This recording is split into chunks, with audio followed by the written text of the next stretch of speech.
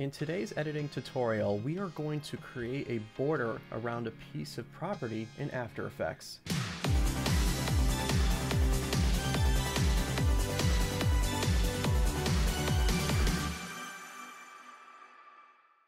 So suppose you're a drone pilot who wants to spotlight a piece of real estate, and you want to show the border surrounding it. This is one example of what you can do utilizing a simple stroke effect to achieve that.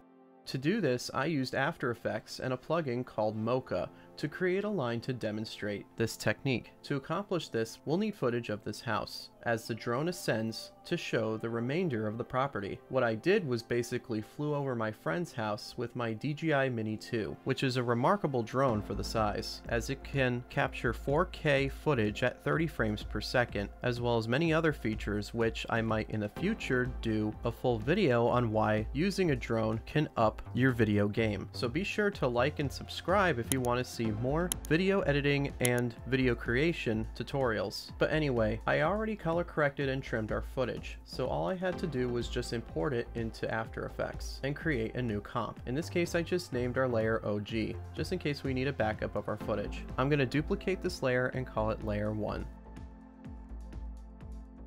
Next I selected Track in Boris FX Mocha from our animation drop-down menu.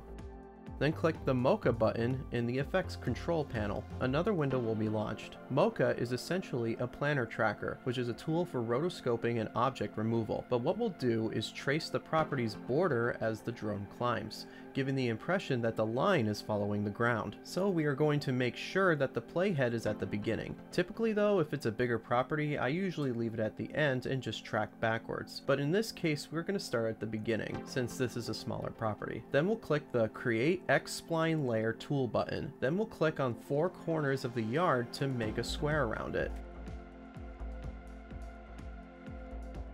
The angles curve can be adjusted to flatten or curve the borders.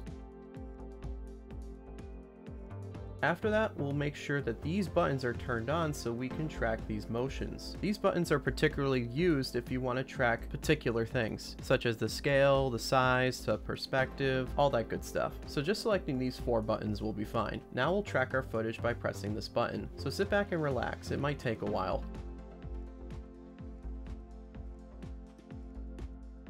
After this is finished, we can take a look at how well our track is. In this case, it followed it really well.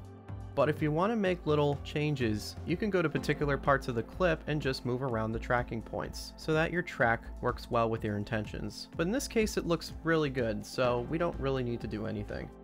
We'll now save our project by clicking on this icon, and then we can exit Mocha to return to After Effects. While your layer is selected, go to the menu in our effects panel, and then we're going to select Create AE Masks. This will create a mask layer that copies the data from the Mocha track we just did.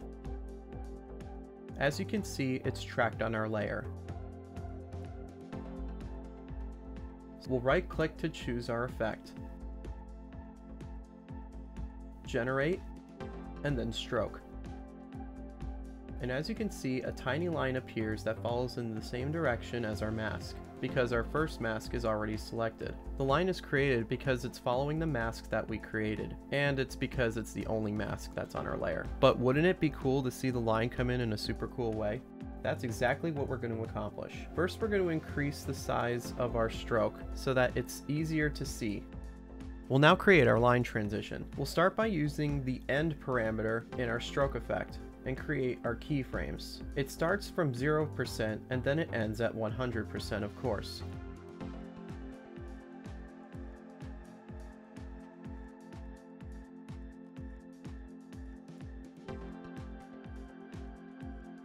We'll modify the keyframes from linear to Bezier so that we can have an ease in effect. To easily alter this parameter, I use a free application called Keyframe Wingman. This is included in a free plugin called Premiere Composer, which you can get in the link below. This includes a variety of helpful and free transitions, text plugins, and other features. This is not a paid sponsorship, I just appreciate the product and use it on a daily basis to help me with my workflow. So please take a look at it as well, and it can help you out in the future. So what we'll do is just select our keyframes and click this button here so that our keyframes are modified with an ease in and ease out parameter. And check out how cool our line transition is, where it starts very slow, then speeds up, and then it eases in. So to sell this effect, we're going to have the rest of the footage turn black and white, while the property will be in color. After that, we'll add a black and white background to complete the effect. We'll copy layer 1 and place it below. After that, we'll remove our stroke effect and mask, leaving only our footage. Then we'll choose our effect, color correction, and tint from the effects panel and then we'll keyframe our amount to tint option so that it transitions from color to black and white over time. The first keyframe will be played just before our stroke animation ends, and the second keyframe will be played a little later. We don't need to add any softening here, but if you want, you can. We don't need to add any easing in here, but check that out, a simple and tidy method of displaying a clear view of our property lines. It's not only a fantastic practice with Mocha and how strong of a tool it is, but it's also a terrific technique for real estate agents or insurance adjusters to illustrate to clients how huge their property is. However, it is a good practice in case you wish to utilize the tool to replace surfaces with something else, or to highlight a specific part of whatever you want to highlight, such as a wall or a sign. But hey, feel free to leave a comment on what additional tutorials you would like me to cover, and if you want more video editing instructions like this, like and subscribe for more. Until then, I'll catch you later.